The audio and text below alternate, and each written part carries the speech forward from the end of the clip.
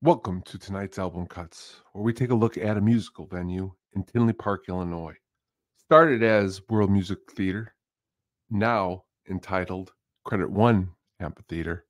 So many awesome bands have come through this, like the footage you currently see is the second show ever by Kiss on the Hot in the Shade tour.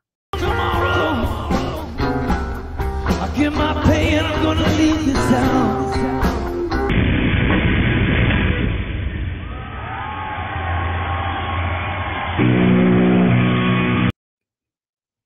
With a capacity of up to 28,000 spectators, 11,000 seats, 17,000 lawn seats, many, many, many, many have passed the doors of Tinley Park.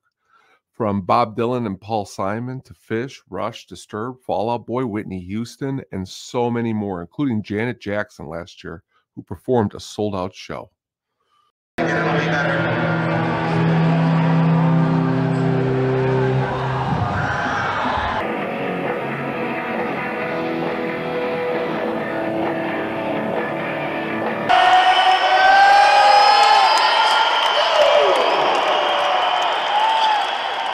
Change, you'll probably remember.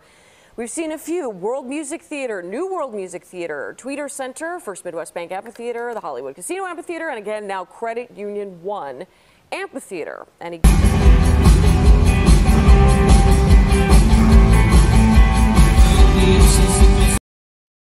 Personally, having seen Lollapalooza 97, Ozzfest 97, Ozzfest 99, Q101 concerts, Rock 1035 concerts, the venue has staged so many awesome, awesome shows, including the one that I just recently talked about with Santana and Counting Crows.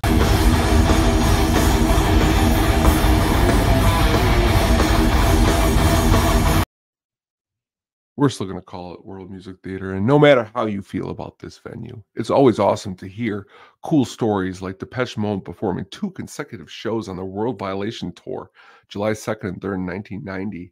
And with Anton Corbijn directing, released their song World in My Eyes with this footage. Love information like this. Please tune in this Wednesday when we try to take more awesome musical information and footage and news and share it with you on the Hookup on Music. Thank you so much for joining us. And remember, live and let live, or live and let die. So